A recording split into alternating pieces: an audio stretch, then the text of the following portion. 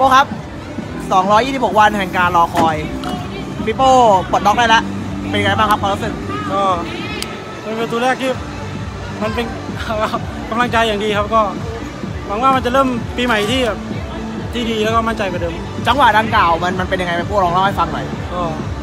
ก็มันกระชากแล้วแบบว่าในใจมันคิดอะไรตอนนั้นก็ต้องยิงแล้วครับ ต้องยิงอย่างเดียวแล้วใช่ครับก่อนลงสนามพี่แบนบอกอะไรไหมว่าให้ยิงยังไง ไม่ได้บอกใช่ไหมครับผมคิดว่านี่จะเป็นการปลดล็อกที่มันทำให้เราไปในด้านไหนของปี2018ครับ ก็หวังว่ามันจะไปในในด้านที่ดีแหละครับครับผม ก็